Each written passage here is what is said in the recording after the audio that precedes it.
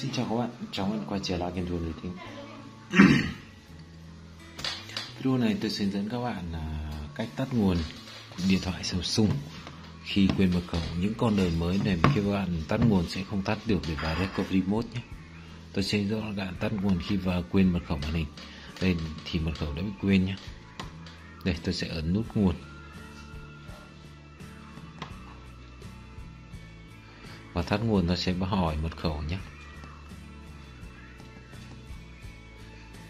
Đây, các bạn ấn tắt nguồn không tắt được như bình thường, nó sẽ hỏi mật khẩu. Để tắt nguồn này như sau, ta cần thực hiện hai tờ phím như sau. Ta giữ đè phím giảm âm lượng và đè phím nguồn.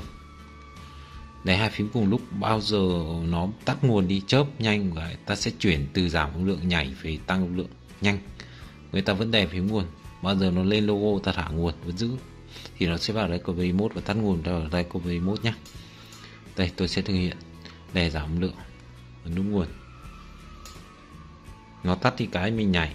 Rồi, nhảy tăng âm lượng.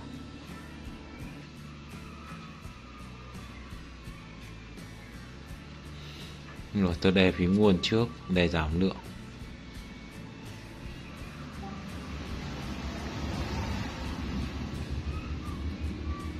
Rồi, chớp tắt, tôi sẽ tăng âm lượng. Tăng âm lượng để tăng âm lượng ngay nhá. Ấn phím nguồn trước sau ấn giảm âm lượng rồi. Đấy. Bây giờ thì các bạn biết cách làm nào ở đây nhá. Rồi tôi sẽ reboot lại luôn. Ôi, vừa rồi là mình vừa dẫn các bạn là cách tắt nguồn điện thoại Samsung đời mới. Khi uh, quên mật khẩu ở đây tôi hướng dẫn là con Samsung Galaxy A10 chúc các bạn thành công. Và nhấn like chia sẻ video đăng ký kênh của mình nhé chào các bạn.